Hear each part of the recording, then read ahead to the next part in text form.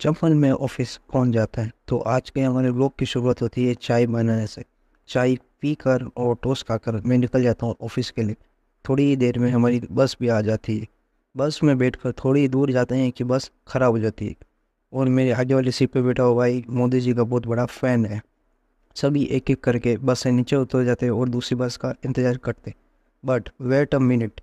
चप्पल में ऑफ़िस पहुँच जाता है। इसे देखकर हमारे अशोक भाई बाहू हो जाते हैं और बोलते हैं कि कल से मैं भी अच्छा बनाने ऑफ़िस जाऊँगा। रिकॉर्ड करने लग गए जो भी बोलेंगे बोल बोल बोल। दीपक हमारे खिलाफ कुछ साजिश रच रहा चाहता है हमारी सरकार क्या तो हम उसे समझाते हैं जितने में दूसरी बस आ जाती है। सभी बस की ओर भागते हैं और मुझे हमेशा की तरह पीछे वाली सीट ही मिलती है। बहुत ही मस्त सनराइज हो रहा है। इवनिंग में आते समय मुझे सबसे आगे वाली सीट मिलती है और कर आते आते रात हो जाती है।